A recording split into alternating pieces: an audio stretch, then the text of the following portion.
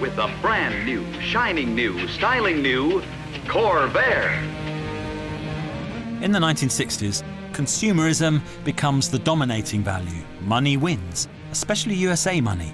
It offers freedom. You can be an individual. You can measure your individuality by the consumer objects that surround you and reflect yourself back to yourself. We are offered the world material security, economic wealth, an object infested lifestyle.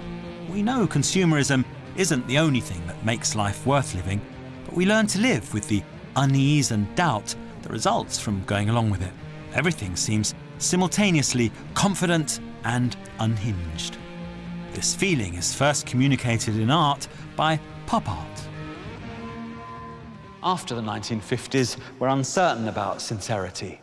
There's a change from belief in higher values, even if we're uncertain how to express them, to accepting that we don't really believe anything. Why shouldn't consumerism and advertising and pop values be right in art instead of being the sign of humanity's low motivations that art's always got to be resisting? I think what we are now, what we want out of life, what matters to us, the idea that there is no reliable truth except that nothing is true, is all here in the beginnings of pop art 50 years ago. The transition from the 1950s mind to the 1960s. Surface and not depth, raising an ironic eyebrow at the old high mindedness.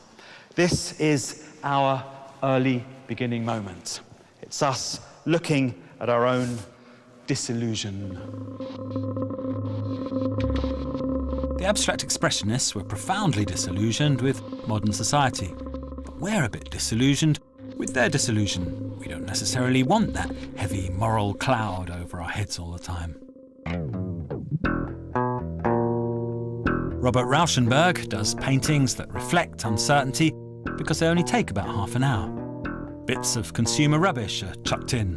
Need some circles? Chuck in a real clock. It's like he asks, why does it have to be moral to be important? Why can't just being random be important? Why stare earnestly into a dematerialized void to find values? You can glance ironically at Elvis. A wealth of riddles of modern existence will immediately well up. Andy Warhol gets a celebrity mass media image into a big blank space. The uncertainty is that you're not sure what's the status of this. We used to have saints in art, and now we have Elvis. And what is it? Is it a painting or is it a photo? Is Elvis in it because he's important or because he's not important? One is right, two must be even righter. Is that right? It's not just the status of Elvis that you're uncertain about, you're uncertain about the status of anything. Pop answer to the question that the ancient Greeks used to ask the gods, how shall we live, is there between the lines of Roy Lichtenstein's ironic thought balloon.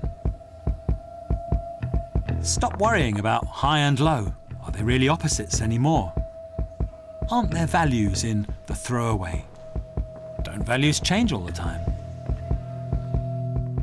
Question Why did the popists do it? In one word, to be opposite. The abstract expressionists are emotionally heavy. The popsters do something we simply can't tell what the emotion is.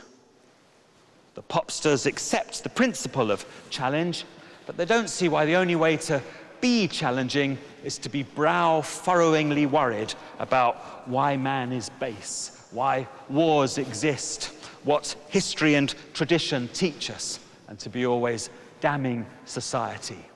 Instead, the popsters want to be cruising through society in a new mood of elegant, discombobulated, amusing, fragmented forgetfulness. You might not like that, but admit it. Isn't that really you?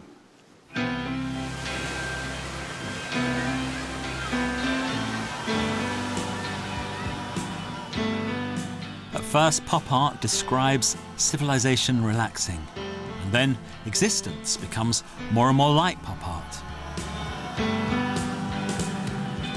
Our world is all appearances and surfaces. We learn not to accept anything at face value and to expect everything to be subtly other than how it seems. We ask art now to show us this game of changing values, to show old taboos being tested. Our art approaches sincerity like pop art approaches it. Any style is acceptable and all styles are playful.